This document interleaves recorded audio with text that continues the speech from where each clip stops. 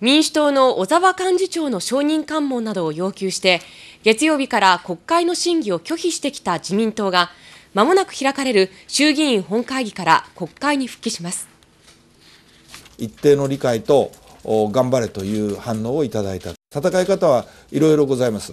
あのこういう試みもあの一つの試みだったという。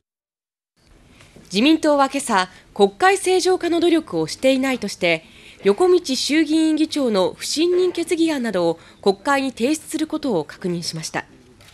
この決議案の採決のため自民党は間もなく開かれる本会議に出席し国会は正常化します。月曜日から続けてきた審議拒否戦術ですが民主党が証人喚問などの要求に耳を貸さず党内からも国会に出て追及すべきだという批判が強まっていました。